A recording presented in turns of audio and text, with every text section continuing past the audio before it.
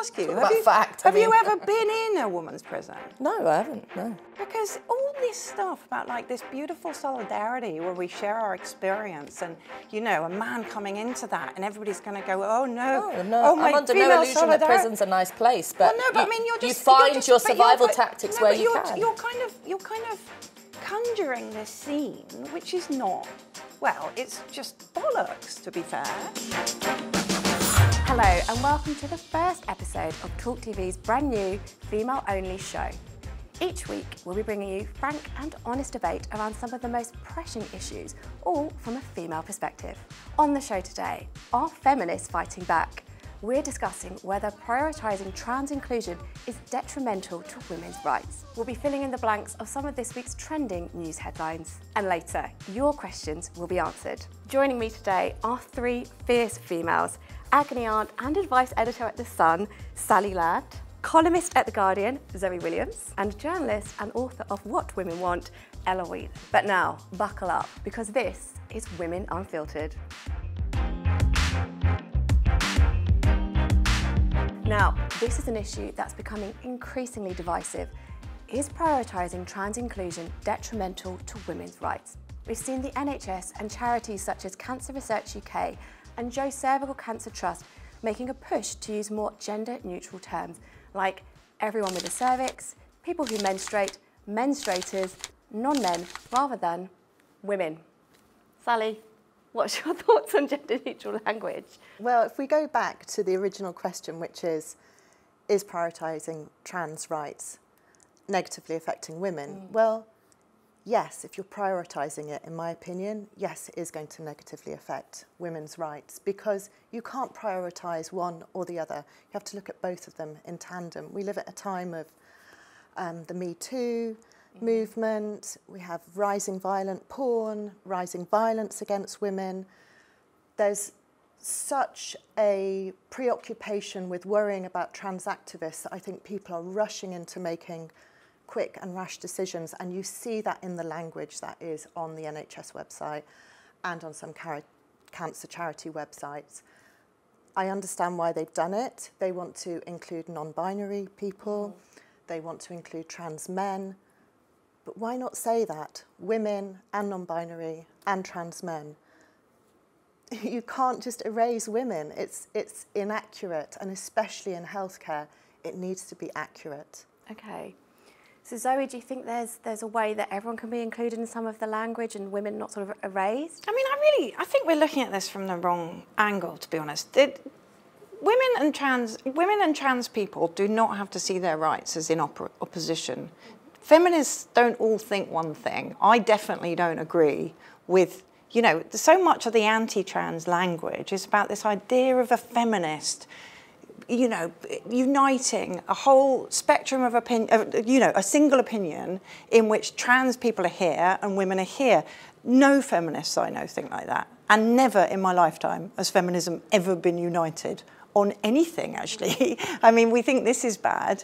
You should, you should have seen it in the 80s when there was the kind of all men are rapists debate. There, were genuine, there was genuinely no prospect for feminists to ever agree. And we never did agree. Um, but we just moved on and did and did other stuff. Specifically on the language, you've got to bear in mind. I don't. I mean, I don't think.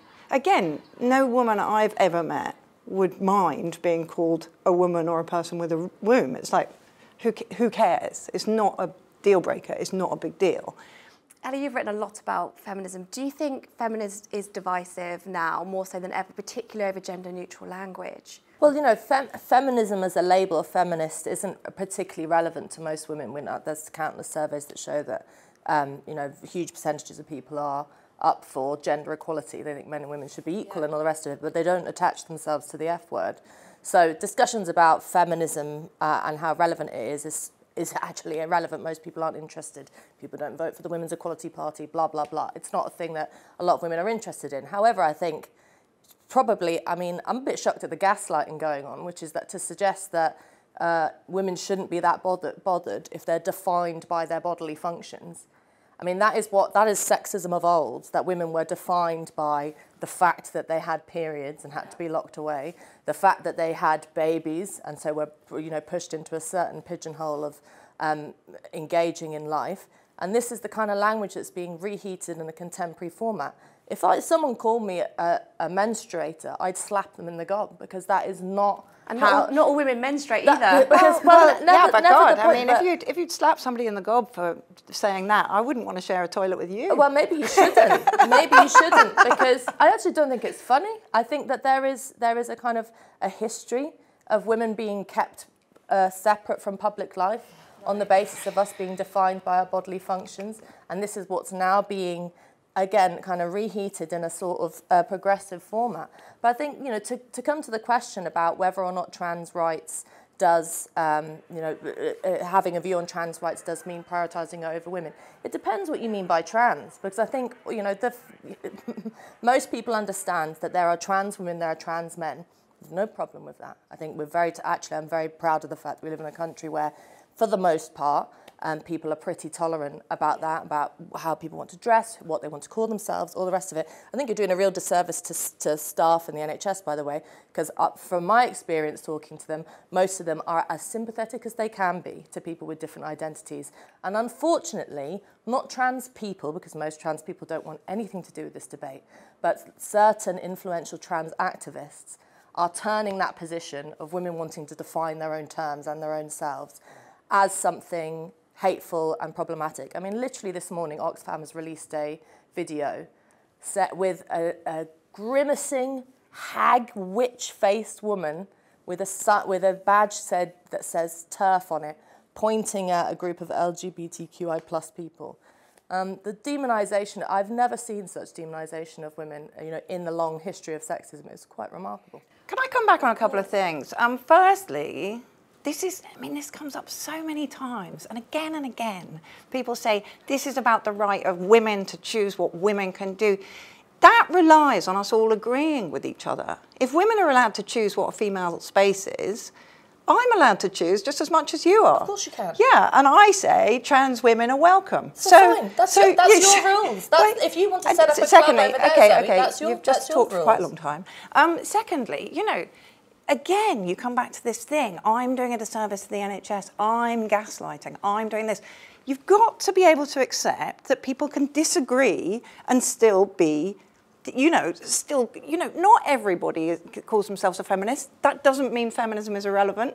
Not everybody in the NHS is good or bad. That doesn't mean that two points of view aren't completely acceptable. Not everybody thinks a woman only space is this or that.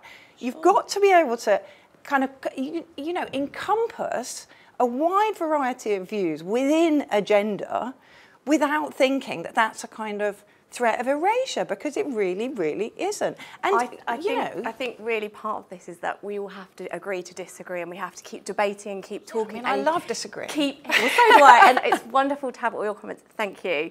Now, to prisons, because there's a lot of debate around whether males who transition to females should be sent to women's only prisons. We've seen cases like that of Isla Bryson, who was found guilty of rape and then sent to an all female jail. There was also the case of Karen White, who sexually assaulted two women while in custody, again, after being sent to an all female jail. Sally, let's bring you in again. what do you make of this? Well, you have Isla Bryson, Karen White, who obviously get most of the attention. And I- think it skews the public perception of actually what is happening. There will be plenty of trans women and trans men who are certainly not a threat to either population. Um, but as both of you have just touched on, the debate is so polarised. We're not actually having a real discussion about keeping trans people safe, women safe in prison, and men safe. It's we need to calm down. Everybody on both sides of the debate needs to calm down and actually start coming up with some workable solutions, rather than all the mudslinging which goes on. Which is a bit of a smokescreen sometimes as well with the mudding. Zoe, I know you've written about this topic, you've written a brilliant article about this. What, what are your, what's your thoughts on, on I mean, this? but, you know, this is this is absolutely classic gaslighting. In fact, the the um, the the idea of like that there, there's a huge population of trans women prisoners in the female estate, and they pose this terrible threat to women in the female estate is, com- is completely fanciful. No female prisoners have been attacked by anybody trans since 2019, but between 2017 and 2020, there were these seven assaults by involving a trans prisoner. Mm. And everybody's like, well, that means trans prisoners are 35,000 times more likely to commit assault because there aren't very many in the prison estate to begin with. In fact, five of them were Karen White. She only got convicted of two of them. The other three lie on her file because most likely because the defence and the prosecution agreed not to pursue them because her sentence was already going to be life. The same year Karen White committed those assaults was the highest suicide rate in the women's estate on record. So if you want to, if you're serious about women's prisons, if you're serious about women in prison and, how, and what kind of a time they're having, you need to you need to look in you need to look in the round. You can't just fixate on this problem, which is which is by no means the greatest problem anybody faces. But this isn't this isn't what it's about. It does, I don't care if you committed tax fraud or if you beheaded someone or if you were a sex offender.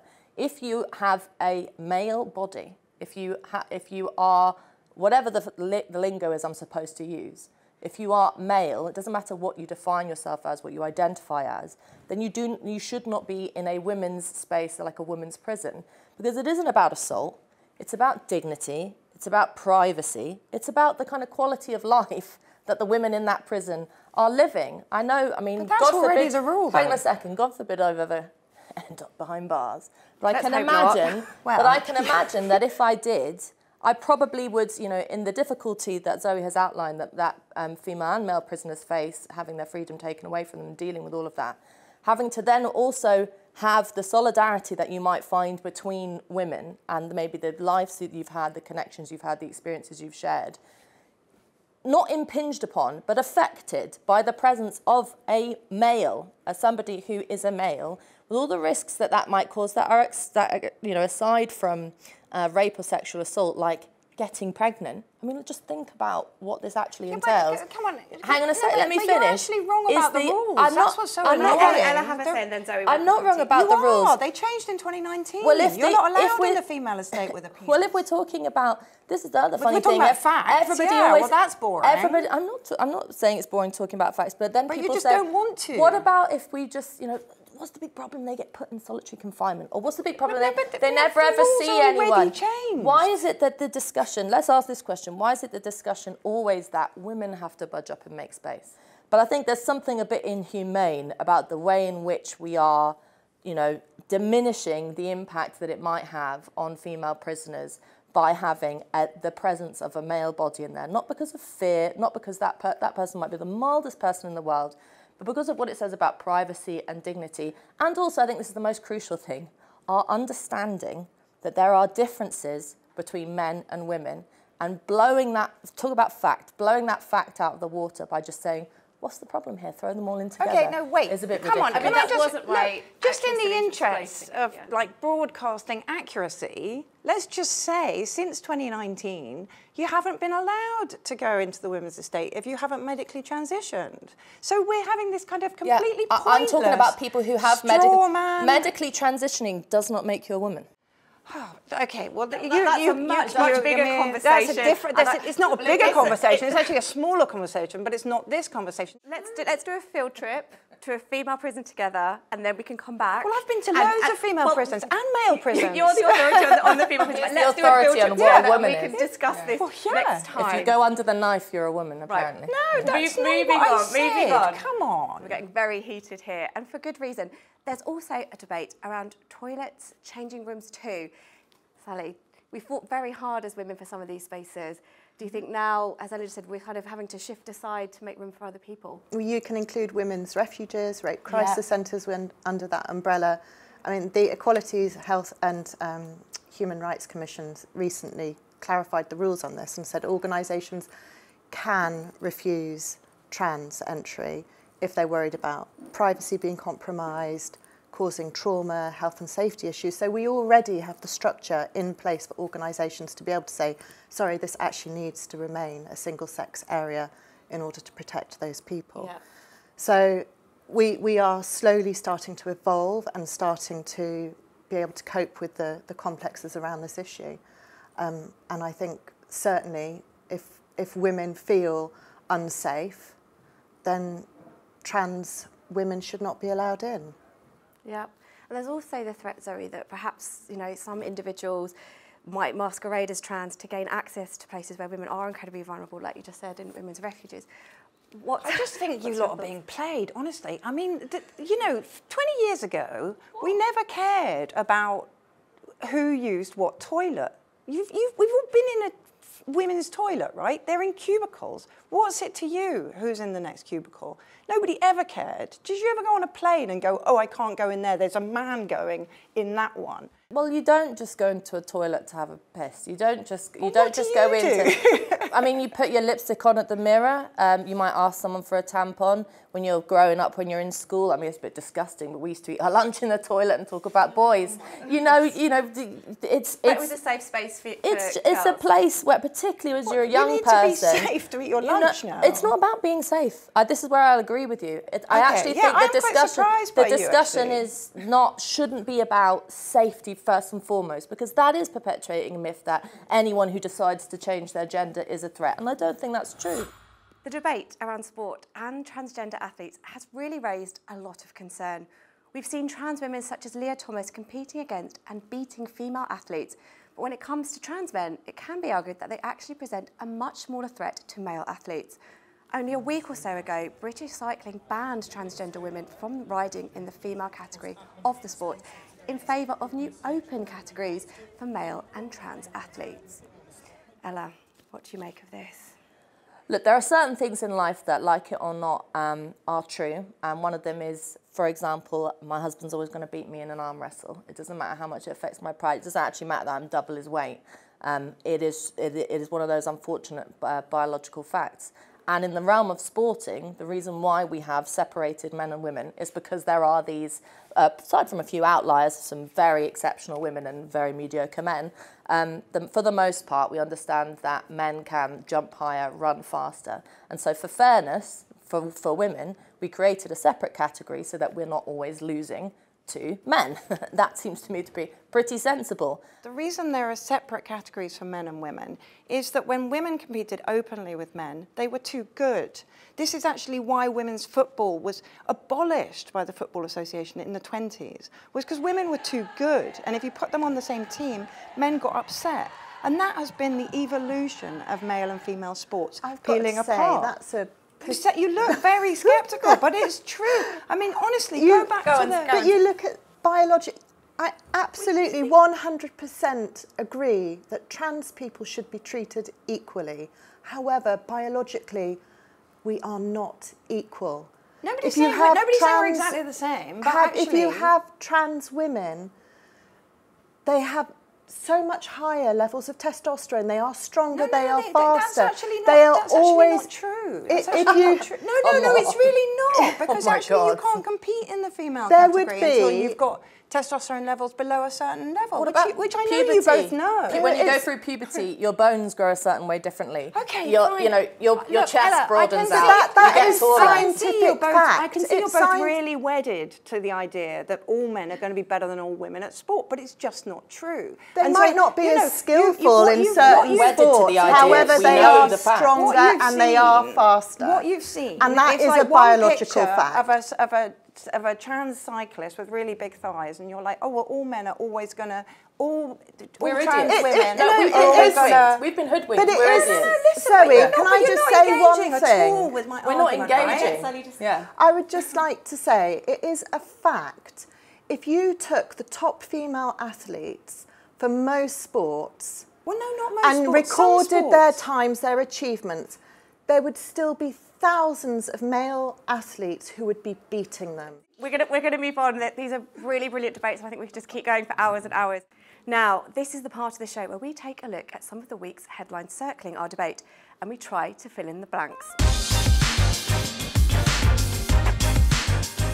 So, kicking off with the first one. The problem with trans women are. Zoe, what do you think the blank I've Got is? no idea. You'd have to tell me what paper it was in. Well, that's cheating. mean- one word, one word, one word. I, d- I honestly don't Sally. know. You're a son. Women. Women. Yeah, probably, that's probably it. So the answer is the problem with trans women are women.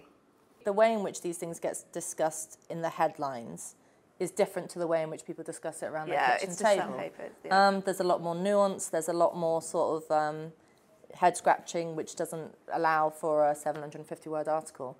Um, and, and in particular, I think also the way in which this gets talked about on Twitter is very different to the way in which people talk about it among themselves. And the discussion unfolds on social media as well. Yeah. So let's move on to the next one. GP surgery asks parents if there is trans. The child, surely. Well, I remember this one. Right. Okay. So you know the answer. Yeah, I think you're allowed to have the advantage. babies, Oh. which, yes. That makes much more That is sense than correct kid if you Yeah. want to make a headline out of it. yeah, that's Um, old news. Yeah.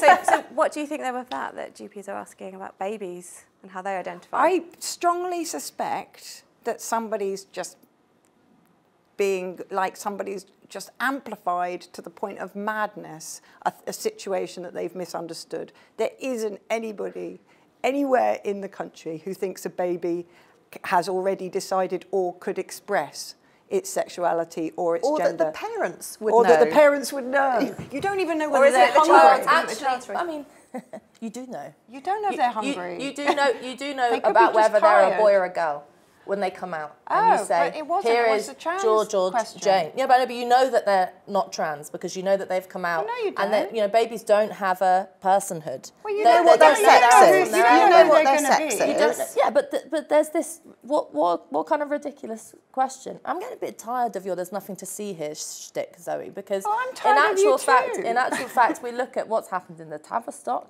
We look at what's happened with the enormous rise of young women wanting to transition to be uh, young men, and what that's what's what kind of social trends are happening there.